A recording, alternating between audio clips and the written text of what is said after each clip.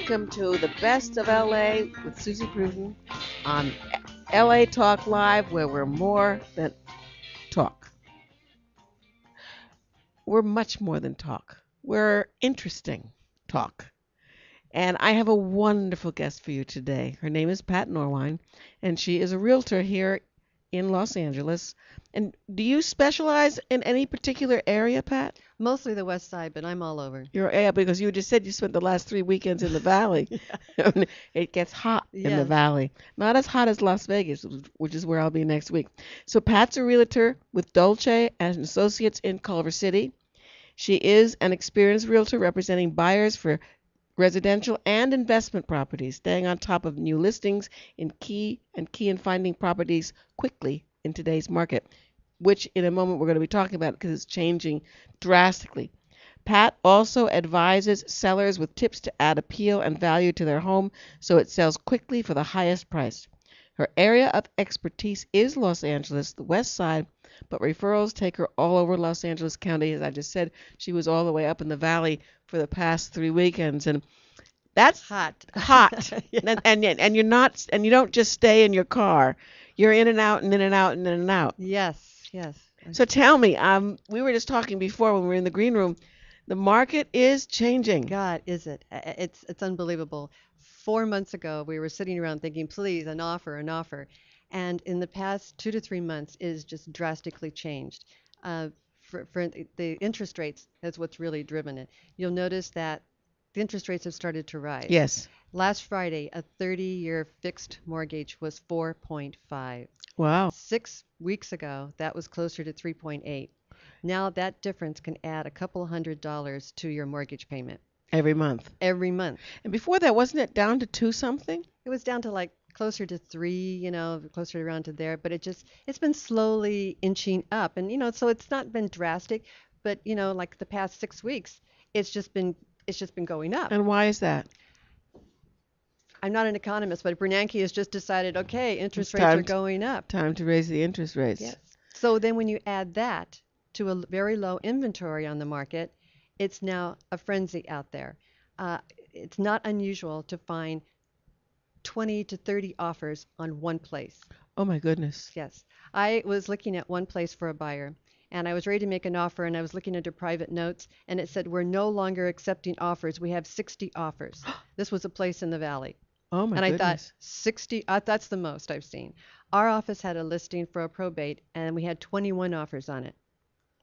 So so is it is it is it now a buyer's market? Is it it's a seller's market. it's seller's market again? It's a seller's market. because a th- few weeks ago it was a buyer's market. At two, two, three months ago, it was a buyer's market. Now, all of a sudden, it's changed. And as I said, not only are we getting multiple offers, but people are getting over asking. It's not unusual to see twenty to fifty thousand dollars over asking over the price. over the price. And before people were trying to bring it Oh, down, were- bring it down, bring it down, get it for a steal. Exactly. So now what does this do for people who are in a short sale or people who are in foreclosure or stuff like that? What does it do for them? Well, you know, you know, the short sales, you know, it's, it's going to be the bank. The short sales, going the bank is going to determine what it's going to go for, and that's going to be based on the appraisal. So the appraisals, if more people are selling at a higher price, it's Appraisals go, go it's going to go up. So the, it'll help the short sales as well. Wow. So what advice do you give buyers right now? Well, the first thing I would say, this is Just call you. Yeah, just call me. Just call What's me. your telephone number? Tell them right Whether you're now. a seller or a buyer, just call me. No, But- but- seriously, what is your phone number? Tell them right now so they can call you. 310 437 3808. Pat Norwine. Okay. Now, I would say the very first thing, whether I don't care what market you're in, you need to get pre-approved by a mortgage broker or lender. That's that's that's the key thing because more and more people, first-time buyers, are coming to me and they say, "I don't really know how much I can afford." Well, the only way you're going to be able to do that is by going to a mortgage lender and getting pre-approved and not pre-qualified, pre-approved. And basically the difference is someone is going to sit down with you and look at, you know, your federal uh, returns for the past 2 years. What are your pay stubs for the past 2 years? What are your debits and your credits? They're going to go through everything. They want to know how much you can really comfortably afford. You need that information. You need That's to know. actually very smart. It, it is. I mean, you need to know because otherwise you're you're just out there thinking, well, of course I can afford that, and then you get in there and you think, oh, I guess I can't. So you not only need to know how much you can afford, But nowadays, or I'd say for the past couple of years, people sellers want to know that you've been pre-approved. They want to know that you're serious because they don't want to take their house off the market Right.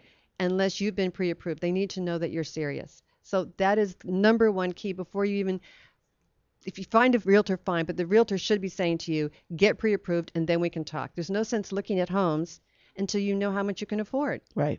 So then after you've been pre-approved, find a good realtor, find a referral, uh, find someone who's going to call you back, you know, on a regular basis, you know, and quickly email you, but find someone who's going to be an advocate for you. Those are probably the things I would say. And then now in this market, the other thing you've got to be prepared to do is be, be prepared be prepared to go over asking. Asking is not yeah, working you, you were talking about that earlier. So be prepared to spend more than the asking price.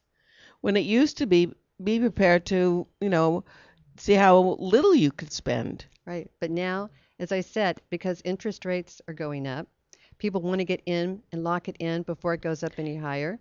Yeah, I, as I said to you earlier, I was visiting with my stepdaughter in Albuquerque, and she wants to buy, a, a, go into a new house. This will be her third house in Albuquerque, and she said there's nothing wrong with her current house, but she knows if she doesn't do it now, the inter- interest rates are going to be even higher soon. Well, that's you know, we know what's going to happen, but it looks like that's what's happening. Interesting, interesting. So, what advice do you give to sellers? Well, I, I would say you know pricing is everything. Um, you can look at pricing three different ways. You want you can look at it as going a little bit over market, so you have room to negotiate. You can put it at fair market value, or you can put it under under the value. And you might think, why would I want to put it under the value? Well, what generally happens is people look at this and go, wow, wait a minute, there's a real deal there. So let's next thing you know, you've got the 20 offers, you've got the 60 offers, and people are now vying. They're going, okay, oh my God, I, I need this property. And the next thing you know, you're getting over your asking by putting it under value. That's interesting. It's like auct- uh, going a book going to auction with publishers. You know, you might get fifty thousand dollars from one publisher, but if another publisher wants it for fifty-five, all of a sudden you've got You've got a frenzy going. you have got a frenzy going. Uh, writers want that. We we want there to be a bidding war on our books. And that's exactly what happens when you underprice it. Interesting. I mean, it doesn't have to be huge. I mean, you, can underprice it like 10%, but you know they know when it's underpriced, and that's when the the frenzy starts. Or you can do it at fair market value, which also people are saying, okay, great, let's you know this is they've got it priced right. When you overprice it in this market, it's you know you may get an offer, but you know I would say price it at fair market value or under under market. Interesting. It, it won't sit on. It will not sit very long if you do those two things. wow. So your office is pretty busy right now. It is. We've got lots of we got lots of things going on. As I said, one one has uh, 20 uh, 21 bids uh, on the on the uh, property. I mean, it's going crazy. Now, how do you, when you've got 21 bids, how, how does that play out? Well, you you take a look. I, I for me, what I would do is okay, what is the highest price? You know, you can Okay. start there. Then you might look at okay, who's who's putting the most down? You know, who can, who can really qualify, or who's all first of all, who's all cash? You know, who's giving me the highest price? Who's giving me all cash? Because now they don't have to buy, bother getting a loan. Right. You don't have to worry about going through all these steps of the appraisal and all of that good stuff. They're just ready to do it. I just had this happen. I had a listing in uh, Mar Vista, and I had uh, three offers. One came in right at asking, all cash. The other two came in with two loans, but with slightly under. And my buyers, my seller said, well, maybe we should try to get more. And I said, are you kidding me? We're taking the all cash, you know. Absolutely. Uh, you know, so we did. They we didn't have to worry about the bank getting a loan. We closed, you know, within 30 days. nice. Yes. So now what happens, because I was thinking again about my stepdaughter, she has to sell her house as she's buying this next house. Mhm. Well, she can't sell her house until she has the next house, but then if she gets the next house, she may not sell her house. What's your advice for people who are in well, that situation? That's, that's a difficult situation. What the only thing you can really do is put a contingency, and I've seen a lot of this right now, is people are saying, uh, "We'll sell my house, but there's a contingency of like giving me 60 days to rent back while I find a place to live." And some sell, some buyers are so hungry for a place that they're willing to do that. So, as I said, she just put a contingency on it that says I need to rent it back for two months or something like that. so what's your favorite buyer? My favorite buyer would be an all cash buyer. no loans. We don't have to go through any loans. It's like all cash. And And, they're and they're out there. Yeah, I know, because friends of mine are moving to Phoenix and it's an all cash deal. Yeah. And they said, we don't want to hassle with the bank. Right. We know what we can afford. If we find that house that's priced this way, we'll buy it and we'll pay all cash. Then we don't have to think about it. And and if they can do it, they can do it. They just sold a house in Hermosa Beach, I think. Oh, nice. Yes. And and and now they're moving to Phoenix because they're creating a whole new um a whole new business. And that's where they have to do it. So they thought, okay, so we'll move to Phoenix. It's awfully hot in Phoenix. Uh, it's too hot for me. I'd rather, I, I, as I said, I, I would rather stay in Southern California. yeah, it's warm here too. It's warm here too. But it's not that warm. No, I, as I said, to me, this is the ideal weather. I, I agree. Yeah. I agree. So what's your favorite sellers? What's your favorite favorite buyers? One with all cash. All cash. Yeah, those are my favorites. and your favorite seller? My favorite seller is one that um, listens to me. You know, that doesn't, you know, doesn't say, no, I don't want to do that. No, I don't want to do this. You well, know? you understand the market. That's what I'm saying is that we're, you know, your agent should be the pro on this. Is listen to your agent. Um, you know, if for instance, you know, uh, some people say, oh, my house, you know, it's got to be worth four million dollars or whatever, and you go inside the house and it's cluttered. I mean, they've got things come, you can't open the closet door because things are falling out of it. They've got the kids, you know, things all over the place. The place needs to be painted. They've got, mean, it's it's a mess. No one wants to walk into that kind well, of. they're a not that energetically. It's not gonna. It's n- it, yeah, it doesn't. No, it you doesn't have work. to. A friend of mine in Phoenix was selling her condo, and she had to literally get rid of half of her stuff in her house. Now, sh granted, she put it in the garage, but she had to live almost as if she wasn't there in case a buyer came. It couldn't have anything out. Had everything had to be in place. She couldn't leave a dish in the sink. You can't. I, I was just going to say one of my favorite things to do to say to a buyer is, you know, how they say to a buyer, you know, it's location, location, location. Mhm. For me, as a seller, it's declutter, declutter, declutter. Get rid of all that stuff. And one of the things I say is have a garage sale before you put the house on the market. Get rid of the furniture, get rid of all those tchotchkes that you you know you want. And not only do you get rid of it, but it's less things you have to pack. So it's it accomplishes two things. But if I said declutter, And you may not declutter- even sell your house after that because you may like it so much because it isn't cluttered. You know, I've seen this happen. That's you know, funny. Where where that's happened, but I would say, just just listen to your agent because they've been doing this long enough. They know what the price. How long have you been doing this? Uh, like seven, eight years now.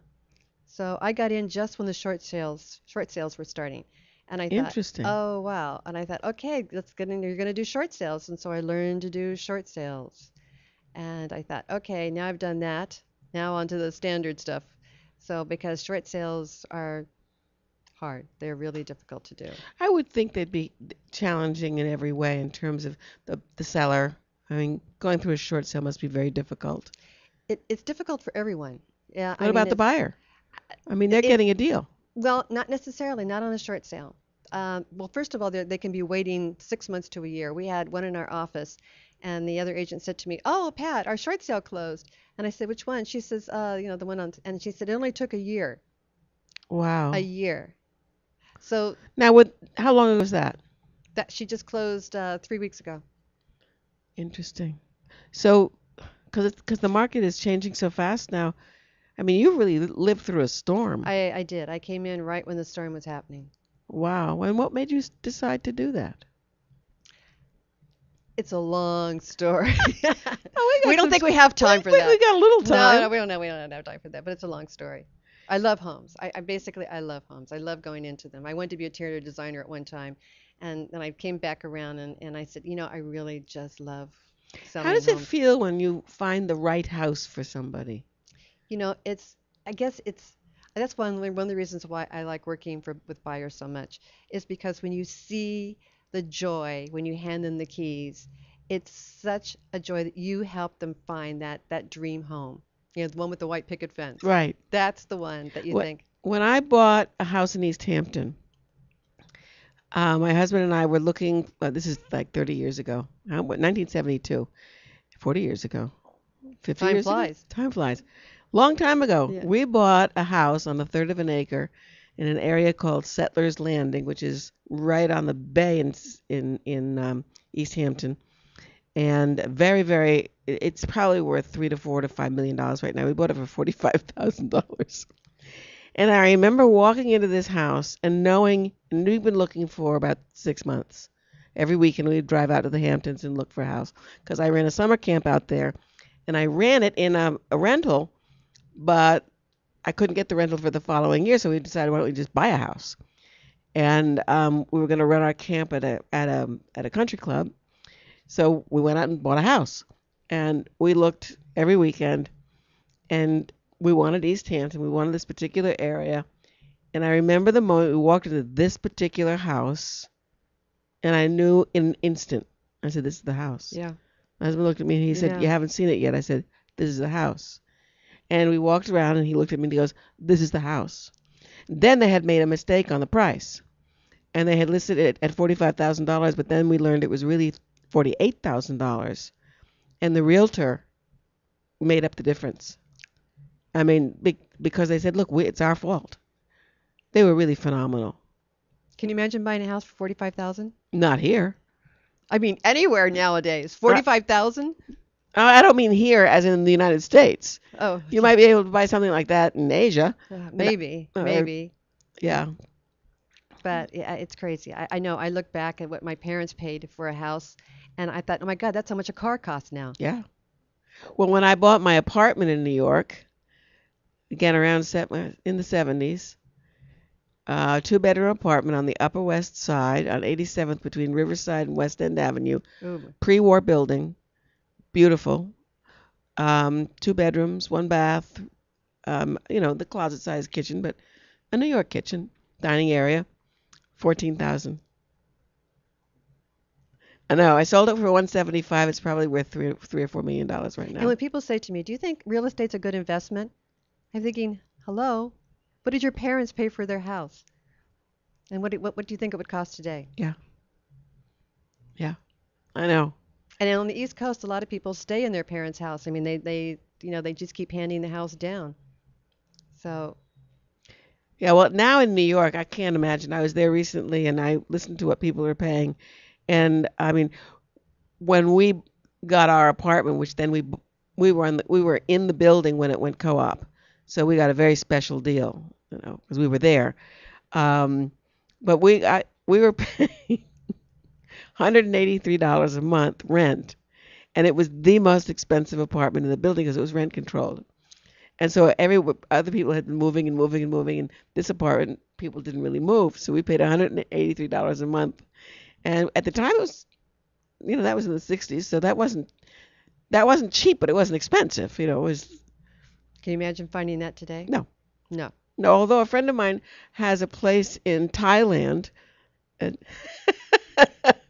and he's got a two-bedroom house in Thailand. It's a, a you know, it's like a row house um, with marble floors and beautiful marble floors downstairs, wood floors upstairs, two bedrooms. He's only paying five fifty a month. I hope he has good air conditioning. He actually he does. Oh, good. It's hot there too. Yeah, that's what I was gonna say. And I, I you know, I want the ocean breezes here. Yeah, then another friend of mine built a house on the south when she's on the beach in Thailand. So she has a Oh, place nice. in Thailand, Santa Barbara, Henderson, and Amsterdam.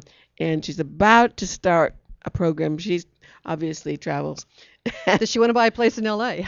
Uh, no, Oh, no, oh, okay. no. She doesn't want to buy a place in LA, but uh, she has at Santa Barbara, and um, one of- oh, oh, and they're now they're they've just opened in their business. They've just opened China, so she's she was All so over. cute. Yeah, she's she's so cute. Um, she's an author and a speaker and and a coach, and she said, "I have no pets and I have no plants." no plants. Yeah. No pets, no plants. I can go anywhere. She and her husband now they they they're world travelers. You know, you just reminded me. I was reading a couple of weeks ago that in Santa Monica on Lincoln Boulevard, they're going to be building this structure with uh, condos like 350 square feet. And I thought, what? 350 square feet. And then I thought, wait a minute, no, that makes sense. You have all these people, like your friend, who's traveling all over and has business, you know, and they're not there all year round. And why not buy a place that has 350 square feet in, a, in Santa Monica? There's also a lot of single people who Yep. want to live in Santa Monica who can't afford it. This makes absolute sense. Total sense. Yeah, I agree. And um, okay, I'm being asked a question. H- hand it to me because I can't see it over there. Okay, this that that's a good question. Donna, Donna has asked me a question. I talk about Donna all the time. Donna, come over here and stick your head out there so that. that I've done that before. They've, seen me before. okay, okay. Anyway, this is, this is Donna. Donna is is um, more than my assistant. She's also a vice president of my company, and she tries. She attempts to keep me. When I say out of trouble, she'll say, "Did you call so and so? Did you call so and so? Did you call so and so?" Oh, three times. See, I'm telling you, three At, times. at, at least, Yeah. at least. Did, did you did you call so and so? It's on your desk. You're supposed to call so and so. And so okay. eventually, I call. What would you do without Donna? What would Yeah. I? go- I don't know. I honestly don't know. So her question is, what are are there programs for first time buyers, and what are they like? You know, there used to be during the the short sales thing. There used to be a lot, but I, I, you know, those are really things for the mortgage lender to to really address on those kinds of things. And so I'm not, I don't really want to get into that. Usually, So if you to- have a first time buyer who comes to you, what do you recommend they do? Uh, as I said, the first thing they need to do is go to a mortgage lender, you know, or, or And see or if they- First of all, to see how much you qualify for. There might be special interest rates out there for first-time buyers, uh, vets. I mean, there's all kinds of things out there that the mortgage lenders would know. I mean, that those are the people that are the specialists that they would know. I have a friend who's a vet, 23 years in the Air Force. Uh, She was she's a master sergeant in the Air Force, retired, and she just got a free house. There's a vet program that offered her because of her service a free house. I just thought that was the most extraordinary thing I ever heard. I mean, in a good way. And, and is that was that in, in California? Yeah, it's down in Irvine, Irvine area. Um, Irvine area was Mission Viejo. Free house, free, Free- and clear. Free and clear. Free and clear because of her service. I thought that was wonderful. That is. You know, when I because I grew up in the Vietnam era and we were very angry at the army and the soldiers. We were misguided. Um, but we never welcomed them back and we never thanked them. My cousin was killed in Vietnam. And um, now I belong to a, a group called CEO Space, which I've mentioned on this show before. And they have a special honoring morning at CEO Space Thursday mornings when they have all the vets that have ever served in any war, anywhere, anytime, even now or in the past, or about to go, come up to the front of the room and we honor them. And my first time at CEO Space was in 2009, December, because I was still in my old thinking. And I thought, my God. But of course, there was a gentleman there who said, who I came up to him, I gave him a hug, and he was crying. And he said, I was in Vietnam. This is the first time I've been thanked. And so when I hear stories for like Eldana, who got a house because she served and she was in Iraq, um, I'm just pleased that people are doing that. So am I. Yeah. That's good to hear. So there are programs for vets, programs for first-time buyers. Um, The mortgage lenders probably would be more on top of those kinds of and things then that are that, so available. obviously that's where you send people. I, I do. I mean, that's Yeah. that, that's the first place you need to go. That's the first step. So what are the new trends in home buying? Well, as I uh, as I started to say, one of them is you know these really small small condos. how much are they costing? Uh, they haven't built them yet. They're they're in the process of building. So we'll see when they come on the market. They, hopefully they'll come on like next year. So we'll find out. But the other thing I just was reading is that with all the revitalization that's going on downtown, they're now starting to move out to make new homes. So now the new trend is building these tiny little homes um, on small little lots. So no lo- going are no longer the big houses like the 2,000 square feet or something like that. Now they're building really small homes and small lots. I'm working with a buyer right now on looking at a home that's a one bedroom home in the Silver Lake district that's like 600 square feet on uh, like a 1,500 square foot lot. Whoa. And it's going for $400,000. oh my goodness. There's another house for $400,000 close to downtown that's a two bedroom that's 932 square feet on just under 2,000 square feet, and and it's brand oh brand new, a, a totally brand new house, totally new for you know electrical, new plumbing, everything for four hundred thousand dollars. But it's so it's small. So now the trend I'm seeing is small lots, small homes, but more affordable. Can you imagine getting a home for four hundred thousand dollars close to downtown? Or at Silver Lake. This one that I saw is right off of Sunset Boulevard near all the trendy restaurants and and I thought, wow, it's a one bedroom, but you know, some people are looking at I own the land. I'm not just I'm not paying condo dues every single month. I own the land. So for some people this is ideal. And if they work downtown, it's perfect. It's a really short commute. They never have to get on a freeway. Wow. I have a small apartment in Westwood area, and it's it's basically a cot. I live I live in the dorms, sort sort of. I mean, it's not a dorm; it's an apartment building, but we have a lot of college kids in this particular area, and um, it's enough. I was thinking the other night. I was sitting in my reading a book, and I thought to myself, "Well, I've been here all weekend, and I haven't. The only time I've gone into the living room is to get on the computer. Other than that, I've been either in the bedroom, the kitchen. That's it. I, I love. I have a special chair in my kitchen, and I like to read there. So I thought I hardly even need my living room. I'm not moving, but Yeah. uh, Well, a- and the other thing is the developers are now going into like the Culver City Arts District and building these small little uh, places that are more going to be more rectangular, small little lots. They're they're really close to each other, but they are homes where you do own the um, the land. So they're going to be like two-story places. So they're kind of long, narrow kinds of things. with a circular staircase because you Prob- don't have room to. I, probably. You know, in Holland, where I've spent a lot of time, the staircases literally are so steep. They're like this. They're not like this. oh my They're God. so steep. The first time I took the sta- took went up to my room where I was staying, I thought, Going down must be crazy. well, I, w- I went sideways. Oh yeah. I, and and and and and the, people who live there did their up and down and up and down because they're used to it. And I'm thinking, no, I'm not used to this. Of Are the course, no, wide at least? no, They're tiny. they're huh? tiny Oh because they don't have room because it was it's built Oh, yeah. narrow. And um, yeah, it's it's what you do. My uncle in uh, Connecticut had a had a circular staircase, not because he had a small house. He just didn't want to have a lot of space go to the staircase, so he had a circular staircase going from the living room, which is upstairs, to the kitchen dining room that was downstairs. A gorgeous house.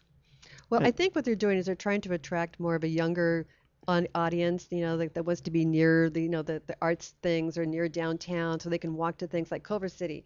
People love downtown Culver City right I love because, Culver City. because you can walk to all the restaurants, can walk you to the the, movies, galleries, they- the movies. yeah, So they're looking at more of a younger group that wants to just be more urban, like, you know, like downtown Manhattan. Everybody kind of walks to everything now.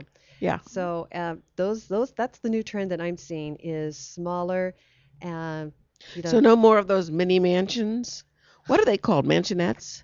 I, When you take you take a piece of a property. mini mansion. I'm not sure I've ever heard mini mansion, but well, okay. well, there, you take a piece of property in Santa Monica. I've seen this where there was a beautiful old house.